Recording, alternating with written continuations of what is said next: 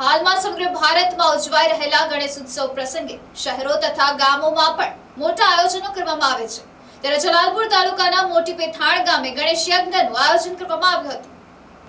છેલ્લા કેટલાક વર્ષોથી ગણેશ ઉત્સવ ઉજવવાની દેશના તમામ શહેરો તેમજ ગામડાઓમાં પણ હોડ જામી હોય તેવું વાતાવરણ ઊભું થયું છે. દર વર્ષે ગણેશ પ્રતિમાઓની સ્થાપના કરવાની સંખ્યામાં વધારો થતો રહ્યો છે. ત્યારે ગણેશ ઉત્સવ હવે શહેરો નહીં, પરંતુ ગામડાઓમાં પણ ખૂબ જ ધામધૂમથી અને ઉલ્લાસપૂર્વક ઉજવવામાં આવે છે. ત્યારે જલાલપુર તાલુકાના મોટી પેથાણ ગામના શ્રી બાળ ગણેશ મંડળ દ્વારા છેલ્લા ત્રીસ વર્ષોથી ભગવાન શ્રીજીની સ્થાપના કરવામાં આવે છે અને ગામના દરેક સમાજના નાના મોટા તમામ ભાવિક ભક્તો સાથે મળી અને ખૂબ જ સુંદર રીતે ગણેશ ઉત્સવની પૂરા દસ દિવસ સુધી ઉજવણી કરે છે.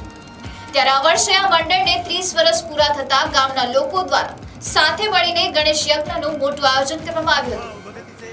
જેમાં ત્રીસ જેટલા દંપતીઓએ આ યજ્ઞમાં ભાગ લીધો હતો, ત્યારે સત્તર જેટલા બ્રાહ્મણો દ્વારા ખૂબ જ સુંદર રીતે વૈદિક મંત્રોચ્ચાર દ્વારા આ હવનને યાદગાર બનાવી દીધો હતો. આ પ્રસંગે ગામના તમામ લોકોએ સાથે મળી અને મહાપ્રસાદનું આયોજન કર્યું હતું, જેમાં ગામના તમામ લોકોએ સાથે મળીને મહાપ્રસાદનો લાભ લીધો હતો. મોટી પેથાડ ગામના લોકો દ્વારા છેલ્લા ત્રીસ વર્ષથી વિઘ્નહર્તા ગણેશજીની સ્થાપના કરવામાં આવે છે. જેનો એકમાત્ર હેતુ એ જ છે કે ગામમાં આવતા વિઘ્નોને ભગવાન વિઘ્નહર્તા દેવ ગણેશજી દૂર કરે અને ગામની શાંતિ અને એકતા જળવાઈ રહે. Report NTC news Navsari.